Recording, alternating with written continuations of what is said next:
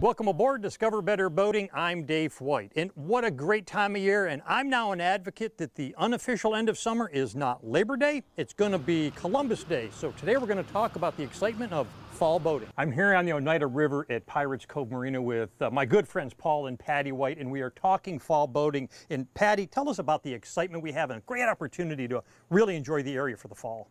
Oh, there's the fall boating is just gorgeous. The leaves are all changing and reflecting off the river, and you can go with friends, and it's just magnificent. In the sun, in the in the mornings, the fog comes up off the water, and it's just magical. It is beautiful every day. Paul, are there special considerations that you know new boaters, old boaters, that all of us really need to take into account as we enjoy this season? Just to keep an eye on the weather, um, be cognizant of the weather change when temperatures drop. You want to plan ahead a little bit, pull the boat out early if you're not using it. You know, Paul, at some point we will have to start pulling the boats out. So, what do I need to be thinking about planning for this fall, but that will even prep me for next spring? Think about where you're going to be keeping the boat and maybe about having it shrink wrapped. Um, again, any of those things that could be done over the winter months instead of waiting until spring.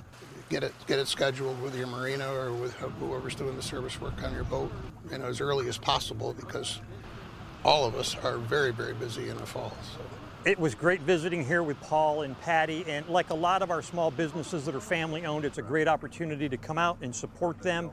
Uh, really enjoy this fall boating season that, like I say, is now going to go until the unofficial end of summer, Columbus Day. Enjoy the fall foliage, enjoy the boating season.